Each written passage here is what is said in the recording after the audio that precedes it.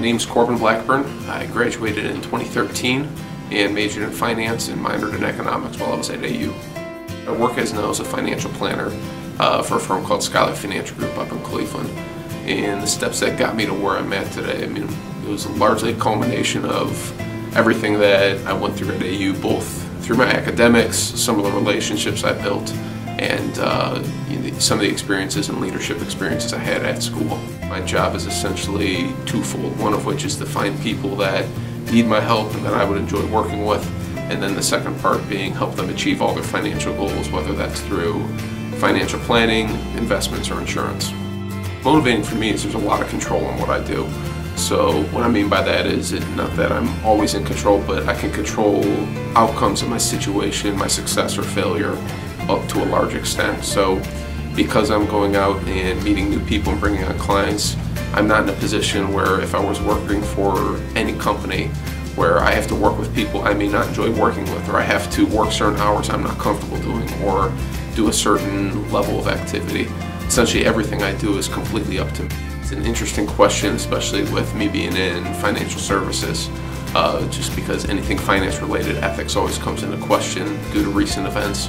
But uh, lucky for me, I mean, it, you know, I had strong ethics due to the high school I went to. There was always a focus on, you know, good moral behavior.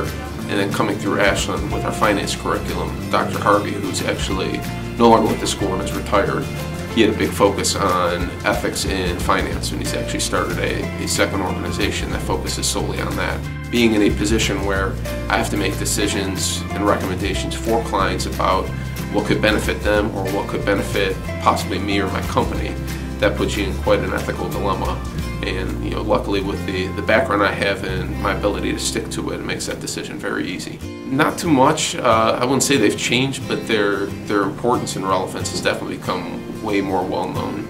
Uh, mainly because being in school, you don't face too many ethical dilemmas, so to speak. I mean, your big problems a, as a college kid, when you look back at them, they're very small in comparison to anything else that could possibly be there.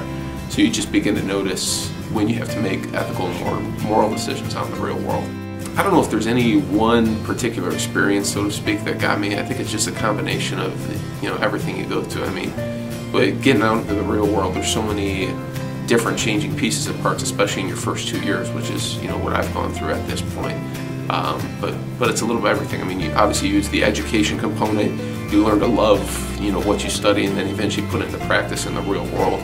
But you also build relationships while, they while you're at school. A lot of it's taught here at AU in terms of the you know the curriculum, and they're going to teach you what you need to know in order to be good at whatever your chosen field is.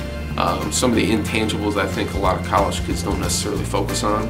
Um, you, you, know, one of the big ones is just relationship building. So I know when I got into the workforce, my mentor at work told me, you know, if someone offers you and you haven't seen them in a while, or you meet someone new and they say, hey, let's go grab coffee or let's grab dinner, you know, very few people actually take others up on that. It's just kind of something you say in passing, um, but it never really goes anywhere. And, you know, I was taught from him that don't be that guy that lets that happen.